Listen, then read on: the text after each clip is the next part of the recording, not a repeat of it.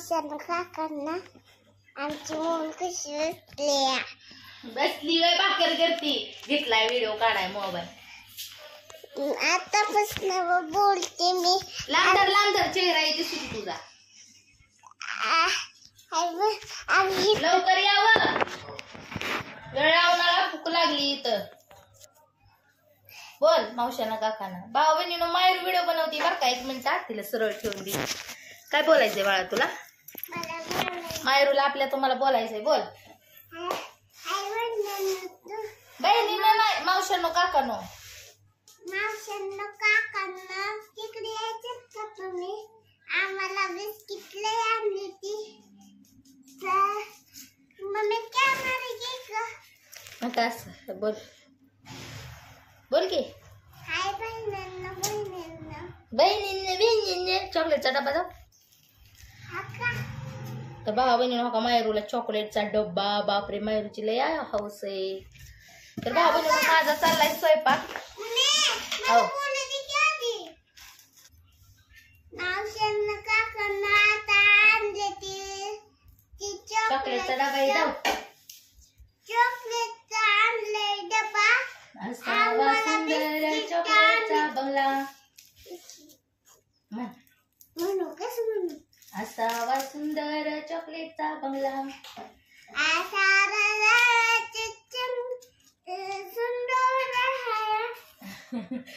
भाऊ बहिणीनो मायरू आपली मायरूला त्या दिवशी मायरूच्या पप्पाचा बर्थडे होता का ना? त्यावेळेस मी हे केलं होतं. माय एक चॉकलेटचा पुडा पण आणला होता बघा भाऊ बहिणीनं. ते डबर मी तोतून चॉकलेट घेऊल्यात मेलॅडी चॉकलेट आणलं होतं. तर मस्त असं भाऊ बहिणीनं तिला म्हणलं आता वायपट तर जातात का चॉकलेट आपली मायरू रोज खाईल. तर दाखव की बरं नी बाळा. तर तेव्हा तिच्या हातात चॉकलेटची भरणी आहे त्यात मी ओतून ठेवले चॉकलेट आपली मायरू जसं ध्यान होईल तसं तिला खाती. आणि काय सांगा भावा बहिणीनं तुम्हाला सांगते मायरूचा बाबा तर वशाट्याशिवाय काय खायनाच दुसरं काय खायनाच वशाट्याशिवाय सारखं मटण आणते ते बघा रात्र. कालच्या काल तुम्हाला सांगते रात्रीचं चिकन केलं होतं तर आज बोकडाचं मटण घेऊन आलेत भावा बहिणी वैताग आलाय मला तर तर भावा बहिणीनं मोबाईल पाडला बघा माहेरून आपला घेऊन. गेली बाहेर तिला खवळली बाहेर जाऊन बसली. तर तुम्हाला दाखवते मस्त भावा बहिणीनं असं बोकडाचं मटण केलंय ती. काय पण बोलते. मायरोजी पप्पाने तिला थोडं चिडवलं की ती म्हणते तो खा बोकडाचं मटण आहे भावा बहिणीनं मस्त. आणि माझ्या चाललेल्या आहे त्या भाकरी. आता मायरो पप्पा येत्याला जेवण करत्याला मग जाते आताच गेलं बसलो होतं घरात. त्यांना म्हणलं थांबा दहा पंधरा मिनिटं तर गेलं. रुसून गेली भाऊ बहिणीनं माझ्या मोबाईल पाडला. आणि मायरो रुसून गेली बाहेर. वैताग आलाय रोज वशात करून. एक दिवस खाणं नाही रोज रोज मटण रोज. दोन वार सोडले की भाऊ बहिणीनं रोज आहे मटण रोज. करणाराला कटाळा येतोय पण मटण खाणाऱ्याला कटाळा येतोय का भाऊ बहिणीनं? सांगा बरं. आणल्यावर आता फेकून द्यायला येतंय का? करावं लागतंयच की आपल्याला. परत आणखी भाऊ बहीण म्हणते की ह्यांची तब्येत कशी तब्येत उतरत नाही त्या. भाऊ बहिणी ह्यांचं खाणं पिणं कसं आहे. थोडंच लागतं ह्यांना पण लय चटपटीत आणि पाणी खाते ती सगळी. म्हणून ह्यांना तुम्हाला सांगते ह्यांचं किंच बरोबर तब्येत उतरत नाही का? काय भाऊ बहीण म्हणते तीच की बाळसं ह्यांना कसं आहे एवढं? बापरे एवढं बाळसं कसं काय यांना? असे चटपटीत जेवण करते का? खाल्ल्या भाऊ बहिणीनं बाळसं कुणाचं तर उतरल का हो? यांना लागतं सारखं वशात खायला. तुम्हाला काय सांगावं? मायरूच्या पप्पाला आणि मायरूला तर सारखं.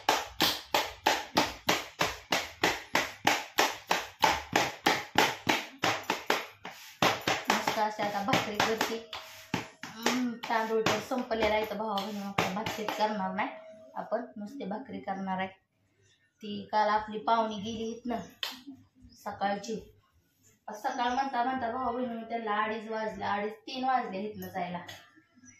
सकाळचं जेवण हे केलं त्यांना मस्त वाटाण्याची भाजी भाऊ बहिणीनं मस्त ती पण जिवली. केली त्यांच्या त्यांच्या मार्गाने. काय लागतंय व घरी आलेल्या पाहुण्यांना पाहुणचार करायचा. त्यांना पोटभर अन्न प पाणी द्यायचं. त्यांचं पुण्य आपल्याला लागतं भावा बहिणीनं. काय आहे माणसं? माणूस काय सोनं चांदी मागतं का आल्यावर? सांग बरं. आलं की पोटाला दोन घास आणि पाणी. पाणी इतकं तर पुण्य भावा बहिणी कशाचंच नाही. पोटभर अन्न पाहिजे माणसाला. म्हणून आपण भावा बहिणीनं कुणाला म्हणजे आलं तर उपाशी लावत नाही आपण नाही का आले की आपलं त्यांना जेवण खाऊन करायचा त्यांचा पाहुणचार आपल्याला होईल असा करायचा. काय आपण काय म्हणतो का आपण त्यांना सोन्याची खाणं आणून द्यावी तवा झाला त्यांचा पाहुणचार तसं काय नसतं भाऊ बहिणीनं. आलेल्या आपल्या घरात जेवढे चटणी भाकर असं ना ती द्यायची खाय. झाला आपला पाहुणचार आता जायचंय बघा आता भावा बहिणीनं. आता मी पण जाणार आहे कामाला बरं दोन एक दीड आठवडा झालं मी घरीच आहे. आता मला पण जावं लागेल कामाला. कपडे ही धुयचे पडल्यात पाणी सुटलं होतं सकाळी. मा मायरूच्या पप्पाने मी पाणी भरलं. परत मायरूच्या पप्पाने झाडून लुटून काढलं मी झोपली. काल काय झालं गंमत तुम्हाला सांगते भावा बहिणीनं काल आम्ही आमच्या इकडं म्हणजे असं लय लांब हे आहे काय म्हणते ते काळा मळा म्हणते बघा त्या काळ्या मळ्यात गेलती. काळ्या मळ्यात गेली होती तर भावा बहिणीनं तुम्हाला सांगते आता पाला आणाय गेलतो चिखला चिवडानामुळे हे. चिखलामुळं गवत काढता येत नाही. तर किती वाचली मी माहिती आहे का भावा बहिणीनं माझं डोकं फुटता फुटता. तरी काल रक्त सांडलंच माझं. कुठल्या नाही कुठल्या ह्याने माझं रक्त सांडलं भावा बहिणीनं. काल की तुम्हाला सांगते पाला आणायला गेली. जिथं मला पाला जादा दिसला म्हणून भावा बहिणीनं पाला आणायला गेली. तर इकडल्या साईडला तिथं पाण्याचंही होतं. काय म्हणते ते ती वड्यासारखं बारकं बारकं एवढे अशी चारी म्हणजे चारी लय मोठी होती इथून तिथून. मग ते पाणी त्यात होतं वाहतं पाणी होतं त्याच्यात.